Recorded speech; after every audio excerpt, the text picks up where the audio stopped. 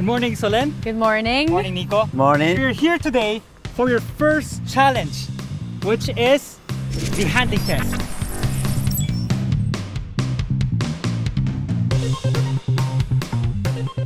Give me a thumbs up if you're ready. Go! I'm kind of tense now. Who's that beast coming out of?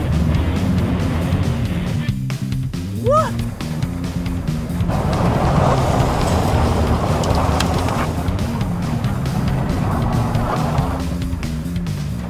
First cone is already down, so that's already counted. She's really sliding the car this time. Are you nervous? Except, except for that cone that you don't just cross, you just went in the middle of the cone. I have so much more pressure because I'm expected to win this challenge. So if I lose, I have so much to lose. And if she wins, she has so much to win. Bebo!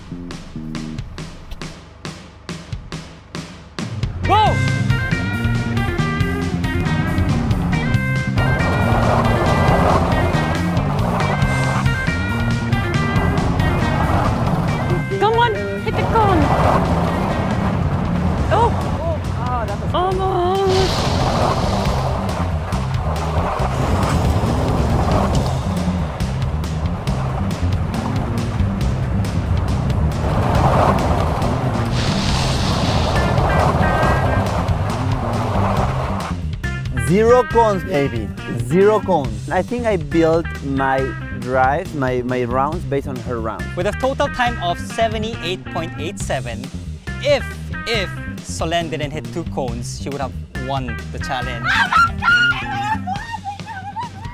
First challenge. Two cones! It's okay. Two cones dead there!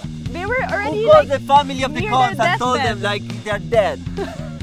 See, Nobody told them that. This is your final time, Solen. You're 80.87. Nico, you were able to clear the course for the total time of 80.03 seconds. Officially, Nico, you have won the first round. won, you won. The challenge. With the first challenge done and dusted, Nico takes an early lead with one win. Let's see if Solen has what it takes to catch up in the next Chevrolet Colorado Storm Challenge.